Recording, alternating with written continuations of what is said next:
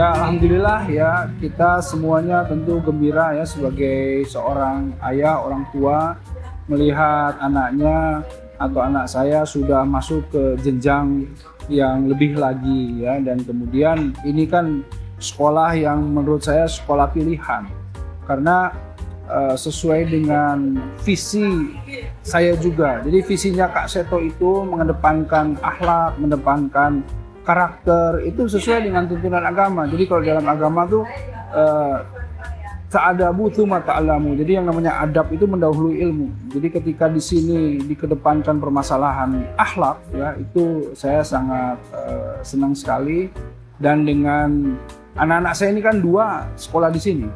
Ya dulu 2015 anak saya juga lulusan dari SMP HSKS dengan uh, program Distance Learning. Yang sekarang juga anak saya lulus SMP dengan program Distance Learning juga. Dengan adanya konsep Distance Learning di Kaseto ini ini membuat anak-anak saya ini punya ruang punya luang waktu untuk eksplorasi pembelajaran yang lain.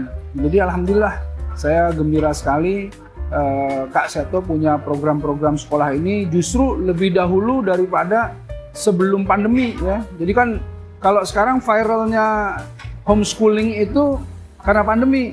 Kalau Kak Seto, saya dari sejak sebelum pandemi sudah uh, mensekolahkan anak saya di homeschooling ini. Alhamdulillah yang anak saya yang pertama itu lepas dari Kak Seto ke Mesir, ke Al-Azhar, ya di Kairo sekolahnya itu. Karena itu tadi ada ruang, ada luang waktu untuk kemudian mempelajari hal-hal yang lain.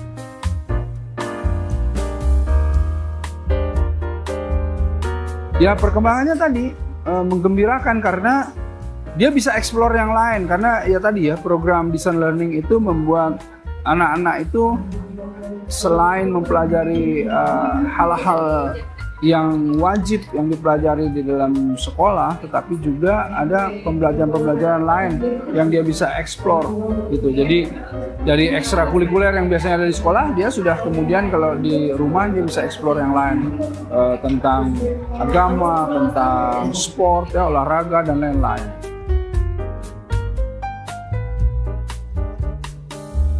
Tentu ya alhamdulillah tentu puas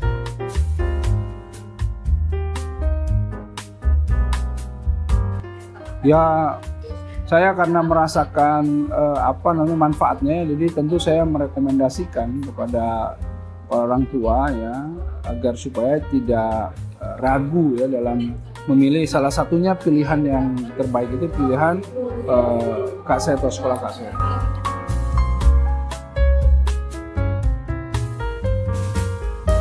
Harapannya mungkin ini jangan terpusat hanya di Jakarta.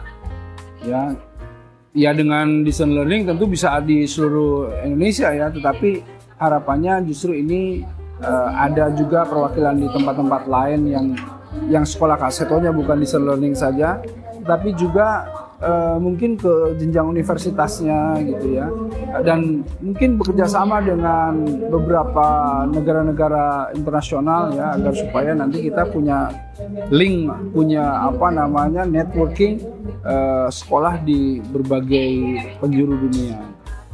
Terima kasih banyak Ayah atas waktunya. Sama-sama.